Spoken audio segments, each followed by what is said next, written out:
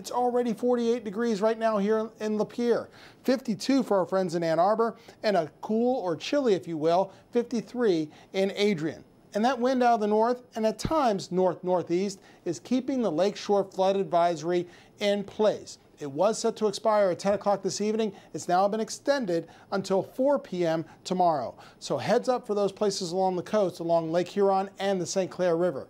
Take a look to our north. Frost and freeze advisories are up overnight tonight in areas in northern lower Michigan. Same thing in the UP.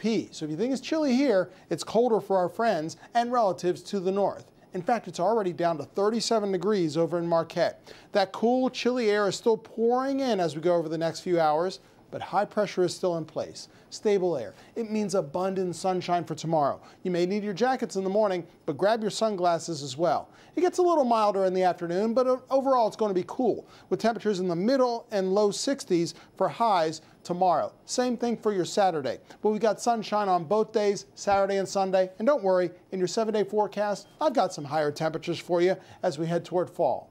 But overnight tonight, temps in the upper 30s and 40s, down to about 45 right here in Motown, under clear skies.